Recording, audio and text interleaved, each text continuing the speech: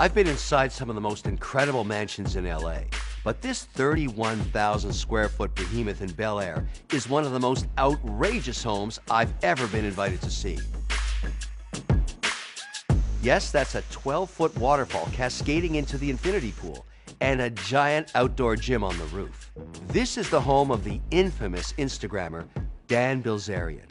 To his 27 million followers, he's known as the king of Instagram. He started his account in the early days of the platform, portraying a raunchier and more over the top lifestyle than Hugh Hefner. And that made him very popular. He reportedly paid a mind boggling $65 million for this mega mansion. And he invited me over to check it out.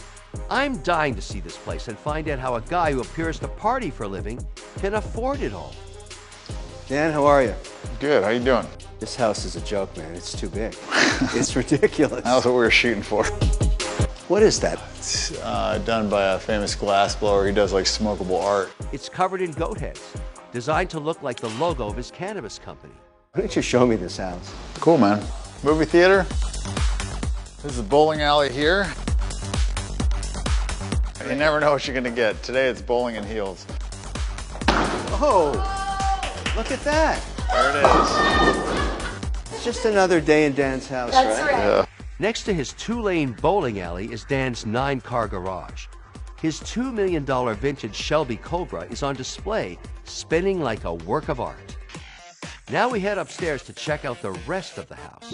All right, Dan, what do we have here? Got a dining room, got some living rooms. And why would anybody need two dining rooms? There's actually three. That's the one I normally do breakfast at, and then this is a, more like a big group, and then you got the formal deal there. How many bars? Got seven bars. And he uses all of them.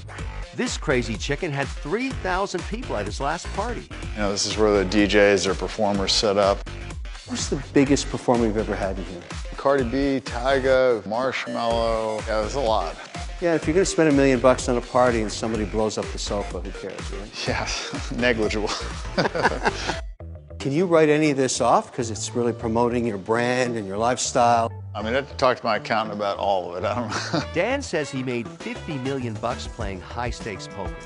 So when I spot his card table, that seems like a perfect place to ask Dan how he can afford this lifestyle most people only dream of. Dan, is poker your primary income now, or have you diversified? Actually, I don't even really play poker anymore. I got to a point where if I won, I was happy, but I didn't really care that much. And if I lost, I was like really irritated. It was time to move on to something else. Sounds like you matured as an entrepreneur. You wanted to mitigate risk. You wanted to pursue something where you added value. Yeah, we're just getting tired of getting kicked in the nuts.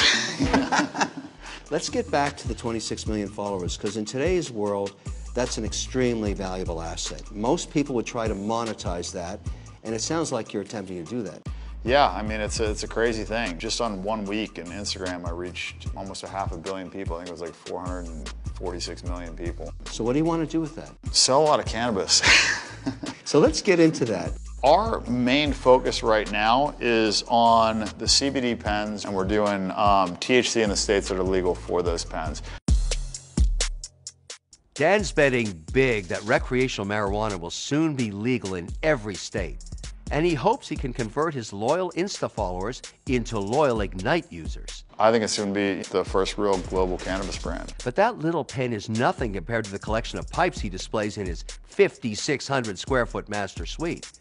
This is something very few visitors ever get to see. So, Dan, this is a closet off a bedroom. It looks like maybe her closet. It was hers. It was my cat, my female cat. Um, but now it's, uh, it's for pipes. How much do these cost? I mean, this one here would probably be like 30,000. You know, Dan, you could get a really nice watch for $30,000. And if this fell on the floor, it'd be worthless. You know, if I lost, I don't know, hundreds of thousands or a million dollars gambling, it probably wouldn't bother me too much. But if I broke one of these, it would be painful. Dan's clearly passionate about his brand. But if you think his ultimate goal is merely cornering the market on legalized marijuana, you're wrong. Where do you want to be in 20 years? The goal is to make a couple billion dollars in cannabis, give a bunch of it away, do some charity, spend more time surfing in Hawaii, and then I want to be president. You want to be president of the United States. Yeah, I think I can do it. Will Dan really be able to parlay his 27 million Instagram followers into both a billion dollar cannabis company and the White House? Or are those just pipe dreams that will go up in smoke? Who knows? But one thing's for sure watching him try will be very entertaining.